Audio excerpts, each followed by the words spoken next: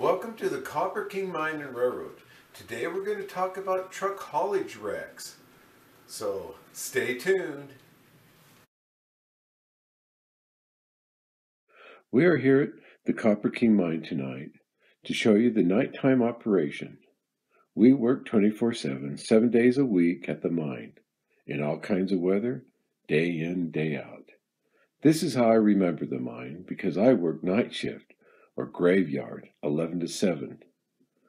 I worked driving haul trucks from 1970 to 1984, and most of that time it was at night. So we will move around the room and show you the different areas of the layout at night.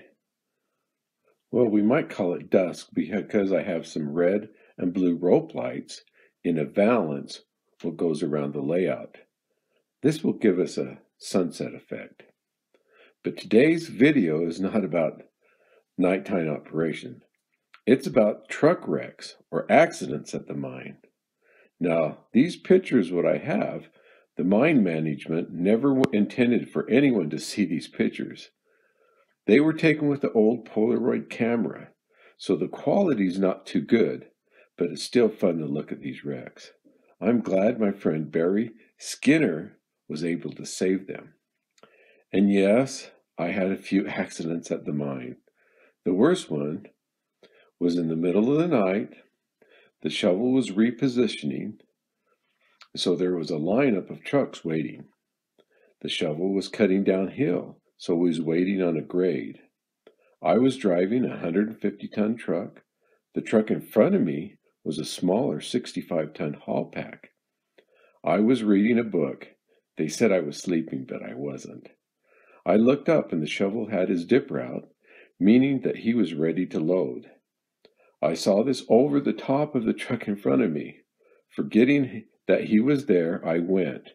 I crashed into his bed. There was no tr- damage to his truck, but my radiator was pushed in. The driver of the haul pack that was in front of me was Ron Chris. I, I used to ride to work with him, so I knew him well. Anyway, they gave me a ticket. I had a hearing and I got three days off because of it. I wish I had some pictures of that, but I don't. Anyway, so let's go look at some of these great pictures of these wrecks at Bingham Canyon.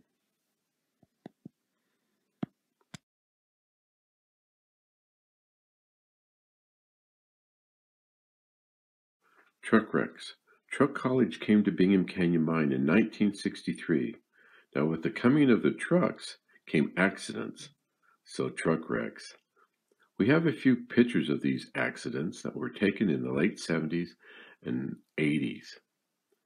They were taken with old Polaroid cameras, so the quality is not very good, but it's still fun to look at these wrecks. The mine management never wanted the outside world to see these photos. They were taken to document the accidents for safety and disciplinary action.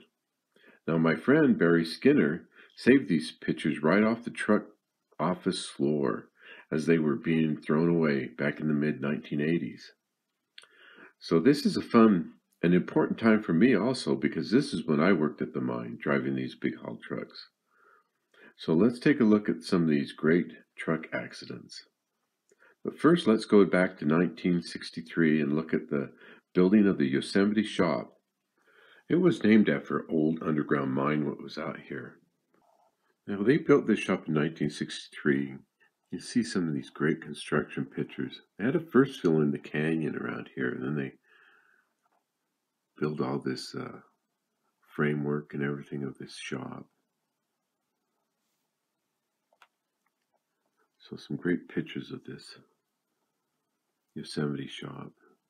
You see it right here when it was done taken in 1964 right here. Then we finally get some colored pictures of it, and then we actually have some inside colored pictures of it right here. That's really neat. Now this picture was taken January 1970. Now this is how I knew it, and this is the parking lot up here, and the, the shop's right there in the background. Then after that, in the 80s and late 80s and into the 1990s. They stopped using it. It was abandoned in this picture right here. And then in 2003, they just buried over it. Here's a picture of it being buried. The first trucks at Bingham were these 65 ton Haulpaks and KW darts. And here they are sitting on the ready line. Great picture of the truck sitting there. And then here's some pictures of them loading the trucks at the shovels. Then, like I said, over time they just kept getting bigger and bigger. This picture was taken in 1976.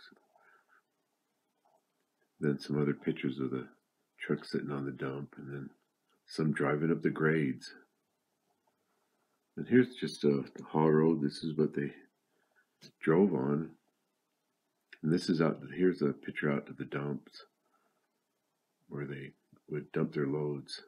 You see the traffic patterns were kind of confusing at times. And so they had wrecks, they had accidents. Now, this picture's as I knew the mine in, in the middle of the night. I worked graveyard 11 to 7 every day. And let's take a look at the shop in the later on in the 90s and that. And here's some Barry Skinner pictures of the inside of the shop and see these larger trucks in here. These are some great pictures of inside the Yosemite shop. It's kind of nice to have these pictures now that the shop is buried. And here's Barry Skinner himself sitting here. Great picture of him sitting there working on a truck and then him by this big motor right here.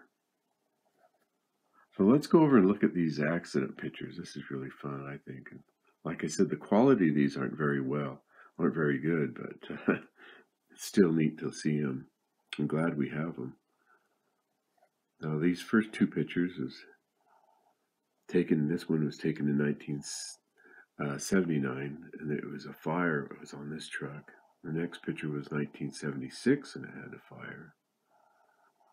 Now, this one was taken in 1978. It's inside the shop, and boy, that must have been some kind of accident. You can hardly see it; it's not very good, but it's uh, just almost a framework in there. Now, this picture right here, we've got two pictures of this, November 1979, and the 362 hit the 335. And this is a picture of the, of the 362. Now, here's a picture uh, November 79 too, and the inside where the cab was up there. Now this picture is the another truck that was hit, and it was uh, the suspension came right off on this uh, side right here. Oh, this is neat. This is September 1977, and this truck ran away coming down grade up in Highland Boy, and they had a pulled it into the berm right there. Now, this one, October 1979, this engine shut down, so he ran off the road. Did some pretty good damage on that one. This is uh, September 1977, and this one looks like it broke its suspension. Now, this one was September 1980, and this one it said it ran out of control in reverse and it went over the berm. So it just sitting there over the dump there. Another picture of this was taken September 77 over in Highland Boy. That's the 371 was sitting there.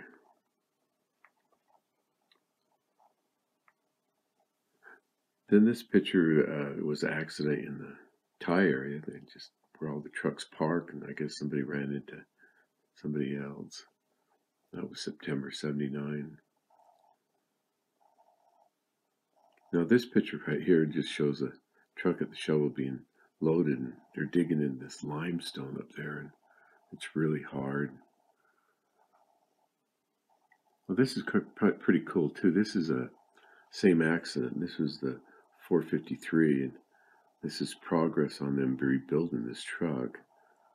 So here's some pictures of that December 1977 of this rebuild of this truck. And it's inside the shop and finally it's done. The mechanics up there really did some great work up in that Yosemite shop, fixing these things. Now, this picture was taken in the 80s, and the mine shut down for a while to put conveyors out, belts in, and this is where they was all sitting up here, just doing nothing for a couple of years. And after that, they started getting bigger and bigger, the trucks, and they're running really big trucks up there now, 300 tons and bigger. So that's the truck wrecks at Bingham Canyon Mine.